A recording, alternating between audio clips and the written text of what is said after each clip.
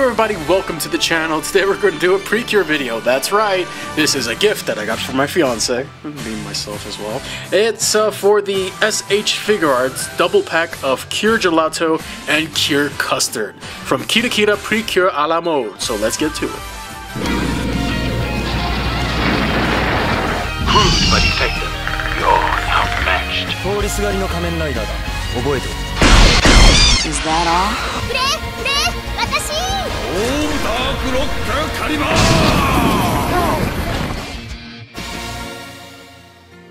Thanks for tuning in. Check out the channel or figure videos and reviews you like. Maybe subscribe. Hit the bell, otherwise YouTube won't tell you I uploaded jack sh more. Anyways, so today we're going to Precure, and yes, I hope you guys like or girls like the background that I did. It's a yeah, I'm still working on that.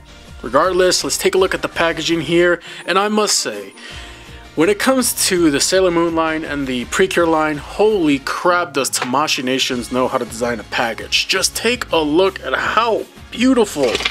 Oh dear lord. Aqua, are you okay? So yes, the package design here, simply gorgeous. Whoever it is that's working at Tamashii Nations and has designed this packaging, two thumbs up from me, it's gorgeous and it this is a pricey set. Not only is it hard to find, but it ranges from the $130 to $150 price range, depending on where you find it. I got this off Mondo Rocket, and let's just take a look here. Look at the packaging. Oh my god, it is simply gorgeous. You know, just from the packaging alone, I would give this a 10 out of 10. But of course, we're not here to review the packaging, although I do feel that it's it adds some value to the figure. Let's get them out of there. Okay, everything looks good. We're gonna set the accessories aside and take a look at that in the accessories section. Artemis, you're drunk back there. So first up, I want to take a look at Gelato and the detail here on her hair. Oh man, everything looks so nice. You get some shading there with the blue. It's not just one flat color. There's a lot of nice detail in that sculpt. And there is a ball joint there, so you can actually articulate it, which is great. Thank God they did that. The little crown there with the ice cream and the little lion ears. Everything looks cute, as well as her expression, the default expression at least. Moving down the figure, you get some glossy paint done for her upper torso. Upper body looks good here. The arms look alright. Look at the big gloves that she has. Moving down to her little ice cream shaped dress. This is beautiful. Look at the little fold there. Little nice little details and creases in that dress. It's done, thankfully, with a soft rubbery plastic so you can get those legs to move quite a bit but of course being that these are pre-cure figures you're not going to really get that many dynamic poses out of their legs you're going to be limited here and uh, the tail here is nicely done. The sculpt for that is great moving down the legs all the way down to her little lion shaped paw boots. Looks good. Everything looks great here with gelato. Now in terms of articulation for Gelato, she can look down that much, look back around that much, given the normal neck joint. The hair is on a ball joint as well, so you can actually spin that around and move it towards and back just a little bit.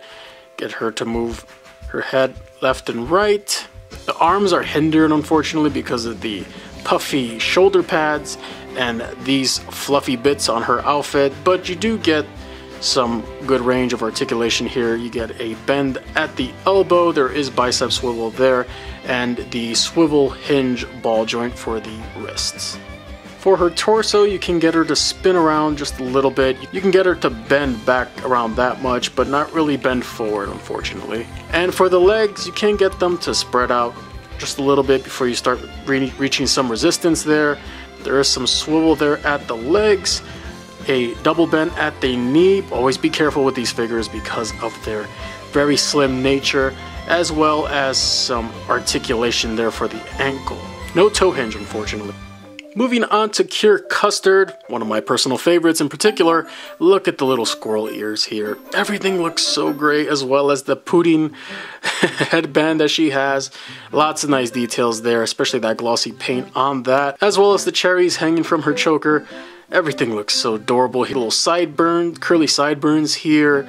The detail on her eyebrows, her eye decals, her default expression. Love the paintwork here done on the hair sculpt. Looks adorable. I like the shading there of the orange and light orange.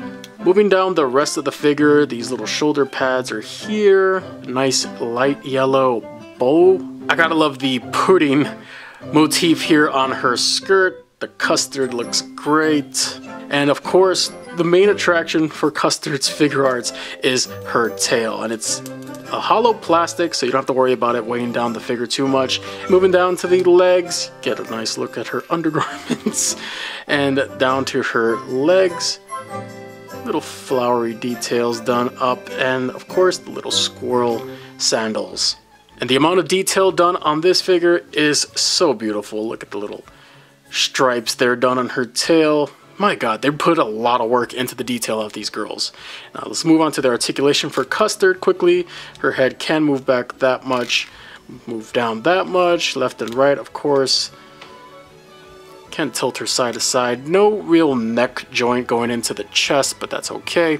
The hair doesn't really like to move too much, so I wouldn't want to mess with that. Of course, like I said before, the tail does have a ball joint at the base, so you can get it to spin around a bit, move forward and back. At the waist, there is a slight articulation there. You can get her to bend forward that much, but you're not going to get a lot of bend on that moving back. These shoulder pieces actually rotate on their own, so that's nice to know that they're not fully attached to that shoulder um, by glue, so that's always great. A bend at the elbow, ball joint, hinge mechanic for the wrists. Moving down to the legs, the skirt is unfortunately a harder plastic, so it's not going to give you that much leeway in terms of moving the legs. You can get her to split about a little bit, not too much. Kick forward, not too much unfortunately, and kick back a decent amount. There's a bend there at the knee, swivel at the upper thigh, thankfully, and the usual ankle joint for these kind of girls. Not really going to get any pivot out of that. It's very limited, but eh, try to work out with what you can. So quickly, let's run down their accessories. These girls are packed with accessories, and I couldn't be happier. First of all, they have their stands, which have a nice little ornate design with their Cure name on them, of course, as they usually do in heart shapes.